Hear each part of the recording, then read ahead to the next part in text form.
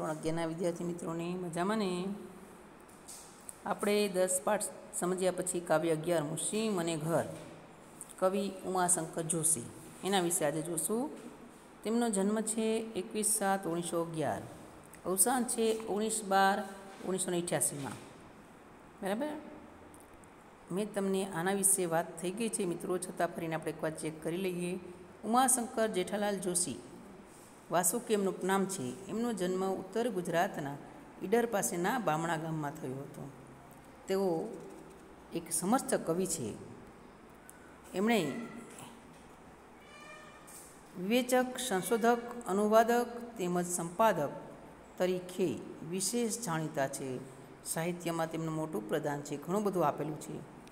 તેમણે પ્રવાસ, વાર્તા, એકાંકી તેમજ નવલકથા ક્ષેત્રે પણ નોંધપાત્ર પ્રદાન કર્યું છે. તેમના જાણીતા બધા ગ્રંથોમાં વિશ્વ શાંતિ ગંગોત્રી નિશીથ પ્રાચીના આતિથ્ય, વસંત વર્ષા, મહાપ્રસ્થાન, અભિગા, અભિજ્ઞા, ધારાવસ્ત્ર તેમજ સપ્તપદી જેવા કાવ્ય સંગ્રહો તેમણે આપ્યા છે. આ બધા તેમના જાણીતા કાવ્ય સંગ્રહો છે. વિશ્વ વિશ્વ શાંતિ ગંગોત્રી નિશીથ બહુ પ્રખ્યાત છે અભિજ્ઞાન એ બધા. એમના જાણીતા કાવ્ય સંગ્રહ છે.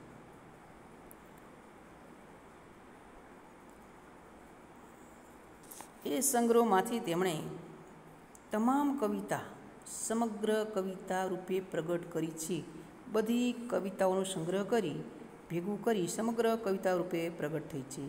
સંવાદ કાવ્ય તથા તેમણે અનેક પદ્ય નાટક જેવા કાવ્ય પ્રકારોમાં એમનું વિશેષ પ્રદાન રહ્યું છે.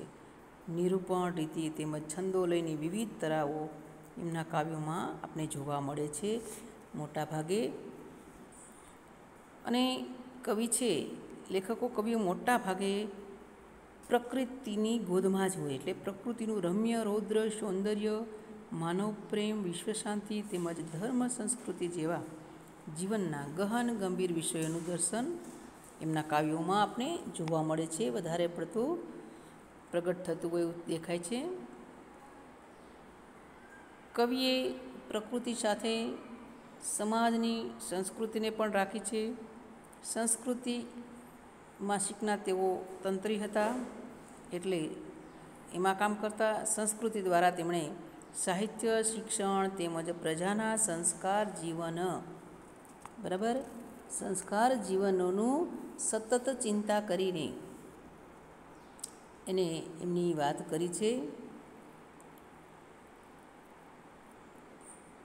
સંસ્કાર જીવન સતત સાથે જોડાયેલા છે, બધું કામ કરે છે.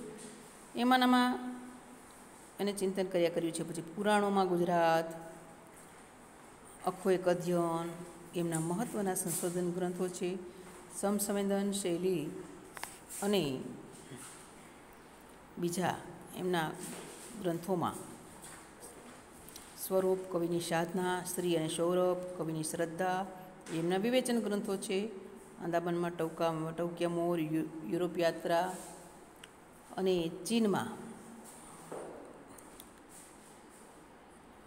ચોપન દિવસ યાત્રી એમના પ્રવાસ અંગેના પુસ્તકો છે. પ્રવાસનું પણ વર્ણન પ્રવાસમાં કરેલા છે. હૃદયમાં પડેલી છબીઓના બે ભાગ ઈસા મુશીદા અને અન્ય એમના ચરિત્રાત્મક લખાણો. ચરિત્રાત્મક લખાણોમાં પુસ્તકો છે, નિશિત કાવ્ય ગ્રંથ માટે તેમણે ઓગણીસો ને સડસઠના વર્ષનો ભારતીય જ્ઞાનપીઠ પુરસ્કાર કન્નડ કવિ પુટપ્પા સાથે સંયુક્ત રીતે મળ્યો હતો. નિશ્ચિત એમનો પ્રખ્યાત સંગ્રહ છે અને એમાં એમને જ્ઞાનપીઠ ભારતીય પુરસ્કાર મળેલો છે. ભાષા સાહિત્યમાં એમણે ઘણું પાછું પ્રદાન આપેલું છે. ભાષા સાહિત્યના અધ્યાપકથી લઈને ગુજરાત યુનિના કુલપતિ, રાજ્યસભાના સભ્ય, સાહિત્ય અકાદમી, દિલ્હીના અધ્યક્ષ તેમજ વિશ્વ ભારતીના કુલપતિ તરીકે પણ તેમણે સેવાઓ આપી હતી. સાહિત્યનું કામ કર્યું છે. સાથે સાથે સમાજને શિક્ષણ ખાતામાં ઘણી બધી સેવાઓ આપેલી છે. સીમ અને ઘર, મુખ્ય કથા વસ્તુ કવિ ઉમાશંકર જોશીએ સુંદર રીતે વર્ણન કરીને શેક્સપિયર શાહી સોનેટની ઉત્તમ પ્રકારની રચના કરી છે. સોનેટ એ કાવ્ય ચૌદ પંક્તિઓનું હોય છે, જેમાં ચૌદ પંક્તિઓથી લખેલું હોય છે. અને ઉત્તમ પ્રકારની રચના છે. સીમમાં ચરીને ઘરે પાછી ફરેલી ગાયોને આંચળ દ્વારા, જ્યારે ગાયોના આંચળ દ્વારા વાછરડાના મુખમાં આવે છે, ત્યારે આખી સીમનું, લીલીછમ સીમનું સત્વ પેલા વાછરડાના ધાવણમાં મળતું હોવાની જે કલ્પના છે, એ કવિ અહીં સુંદર રીતે તમારી સામે રજૂ કરેલી છે. કવિની કલ્પના એ એટલી સત્વશીલ છે કે કૃતિમાં આપોઆપ સૌંદર્ય નીકળી ઉઠે છે. પરિણામે આ સોનેટ એક આસ્વાદ્ય બની રહે છે અને ચૌદ પંક્તિ, સોનેટની રચના હંમેશા ચૌદ પંક્તિની હોય છે. આ રચના લય, છંદ ધ્યાનાકર્ષક છે. આ સોનેટમાં સર્જકના અંતરમાં ચાલતા મનોમંથનનો અદ્ભુત રીતે પ્રગટ્યા છે, રજૂ કર્યા છે તમારી સામે. અને તેમના મનોમંથનો અને અનુભવની ફલશ્રુતિ તો અસ્તિત્વનો છલો, છલોછલથી ભરેલો અમૃત કૃંભ આપણે પ્રાપ્ત કરવામાં કવિશ્રીનો ફાળો છે. સોનેટના વિષય વસ્તુઓને યથાર્થ રીતે પ્રગટ કરવા માટે કવિએ સાધેલો પોતાનો પ્રકૃતિનો સમુચિત વિનિયોગ તેમજ ભાવાનુરૂપ છંદો વિધાન આસ્વાદ્ય છે.